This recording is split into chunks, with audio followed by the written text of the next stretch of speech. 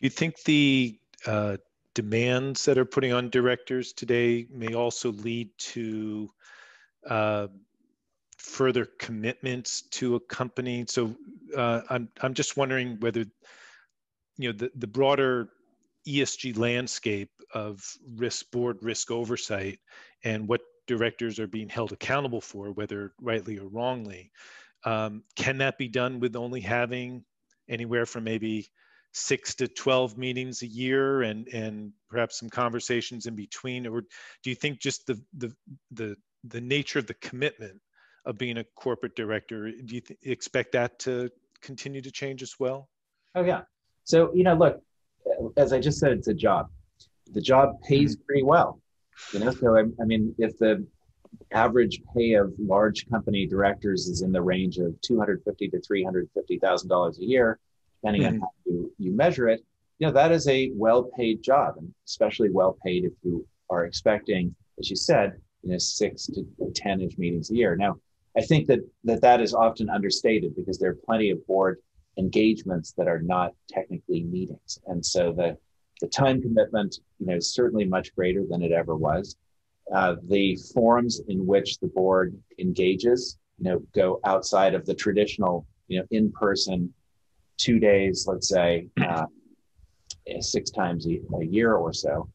Uh, so yeah, the demands are are greater. The demands for being educated and continually monitoring what's going on in the company are greater. That also means that the obligations of management in relation to the board are also a lot greater. So, you know, management teams spend much more time on uh, the, you know, that portion of their job called working with the board of directors, you know, than they ever uh, did before.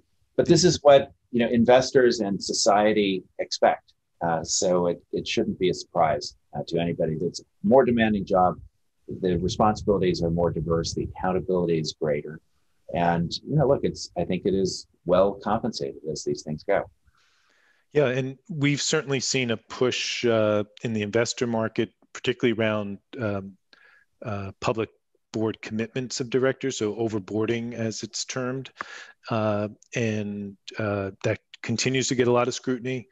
Uh, to date, there has not been a lot of scrutiny around private commitments of directors, and I know a lot of directors have any assortment of, of commitments to uh, whether pro- private not-for-profits and, and other organizations.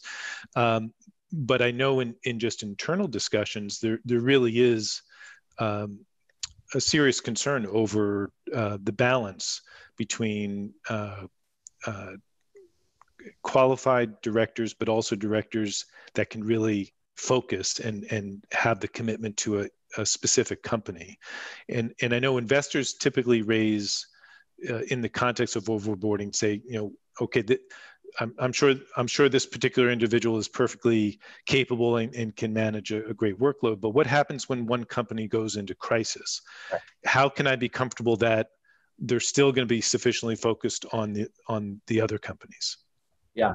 So I, you know, it's a it's a really important issue, and it's one that again, if you're talking about the evolution of a board of directors, it's something that nobody thought about, you know, 20 or 25 years ago, when you commonly saw active CEOs of companies being on, say, three other large public company boards.